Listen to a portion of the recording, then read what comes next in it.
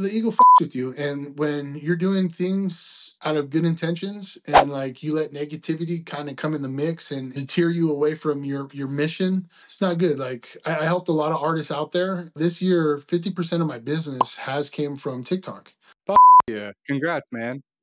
Yeah, thank you. I've also passed sixty-seven thousand dollars of SMP services to other artists around the world. That's awesome. Look at him. He's sharing the wealth, people.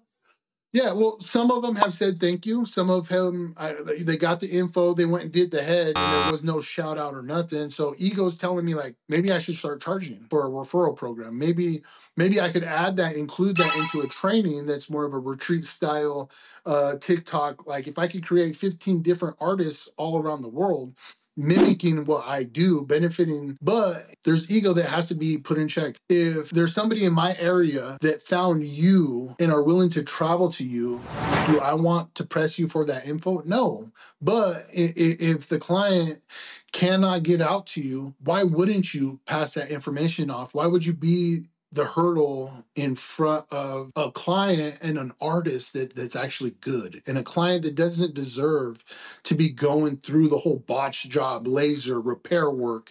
You know what i mean? Like like if you haven't put your ego in check you might want to. There's some good guys out there some good women out there and it's so easy to get wrapped up in somebody's negative action and then it just being like you don't want that to be a part of your business i feel like. You know what i mean? I definitely don't I agree, and people will pick up on that.